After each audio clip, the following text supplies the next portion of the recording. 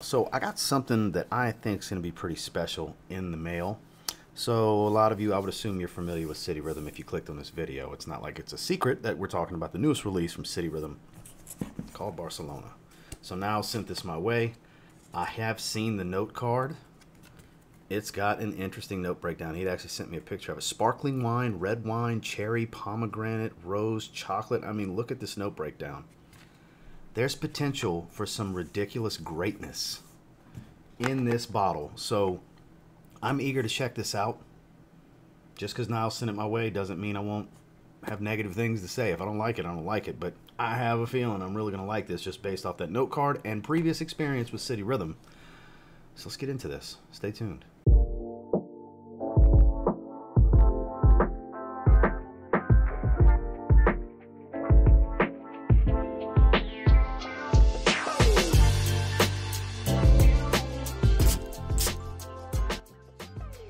Always does it up with his presentations. I got to say, the magnetic flip top with the wax seal has the jewel that uh, he started doing that with uh, St. John, Virgin Island, Virgin Islands fragrance.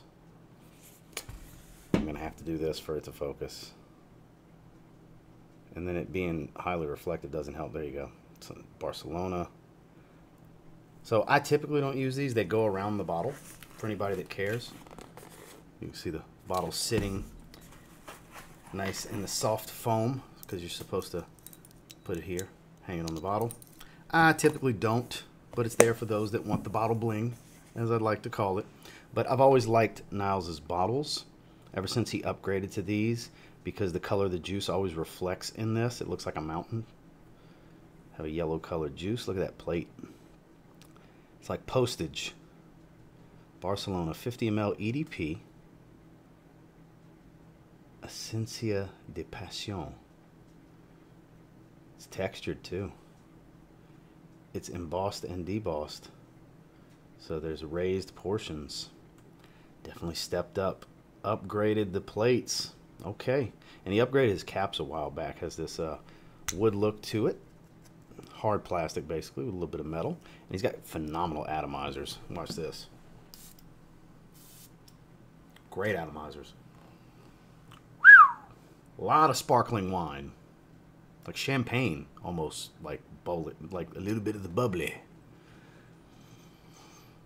I've never smelled anything like it's obviously hovering in the air. Never smelled anything like this before. Beautiful atomizer. So let me read these notes off to you guys. Sparkling wine, pomegranate, bitter orange. Red wine, cherry and rose. Cedar, sandalwood, amber, chocolate, and musk. I've never seen a note pyramid like this. Sparkling wine and red wine together. That's interesting as it is, let alone combine that with all this fruitiness of cherry and pomegranate. Very juicy fruit, rich fruity tone. I think I get more of the red wine than anything else. Out in the air, I got this, the, the fizziness, the sparkling wine accord. But on skin directly, I get a lot of this pomegranate cherry like fruitiness. And I think the red wine stands out more. I actually get the chocolate already too. It's a little chocolatey. Chocolate covered cherries. Kind of. Yeah, that's what it reminds me of.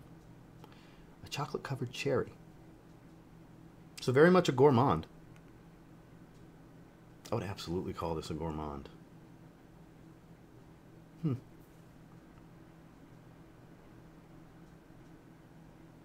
Super unique. Now, admittedly, it doesn't strike me as high wearability for me in my daily life. Not like something like uh, St. John would be, or Manhattan, or even like in either of the Miamis, Tropical Seduction or Tropical Confessions. 2654. Like the wearability is a lot higher. I feel like this is more situational for the evenings.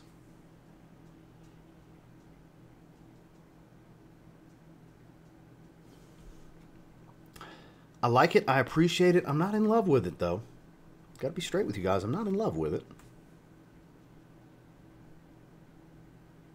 I can appreciate that chocolate covered cherry smell though, because I don't have another fragrance that smells like this. The uniqueness alone garners a ton of respect, at least from me. Imagine City Rhythm Barcelona as that perfect evening where you're sipping cava with friends or a lover, embracing the festive vibes and losing yourself on the dance floor, all while being intoxicated by your lover's enticing scent.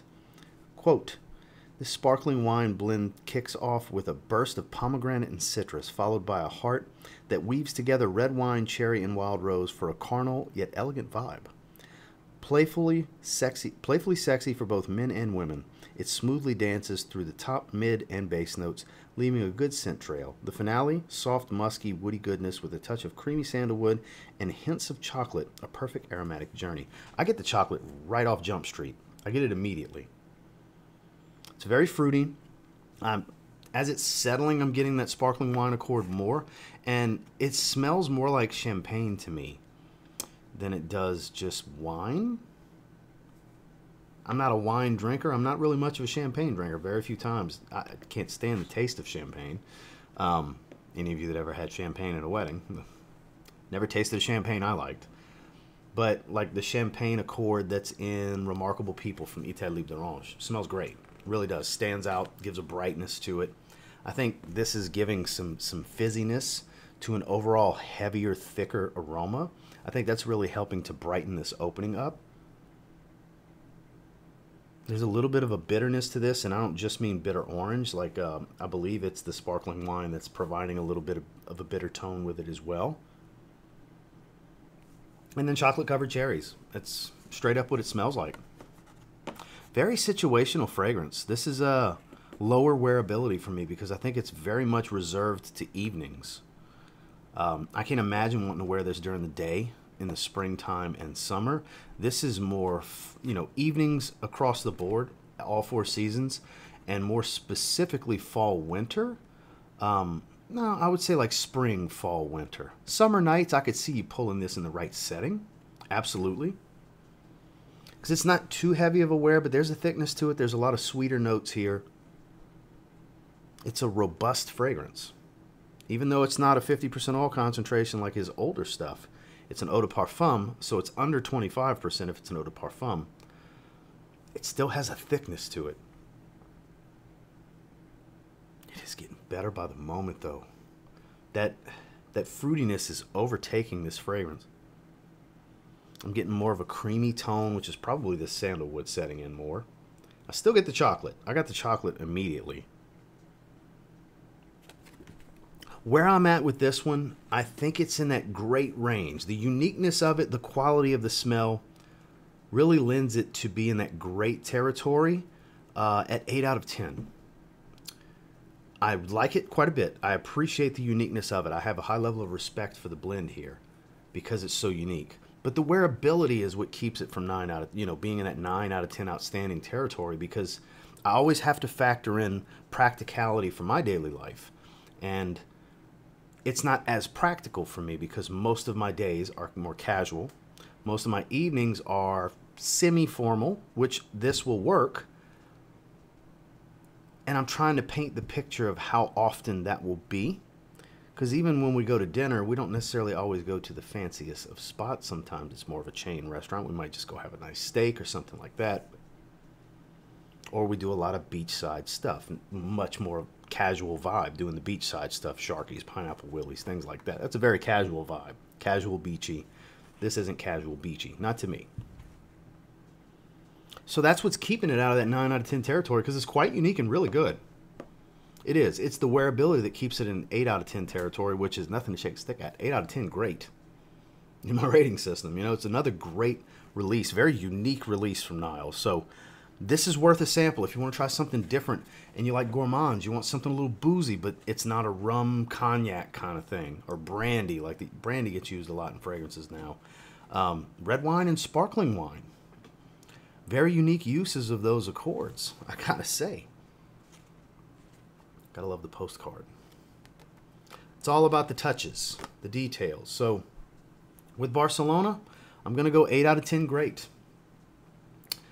I think that suits it. I think it's a very situational fragrance for me.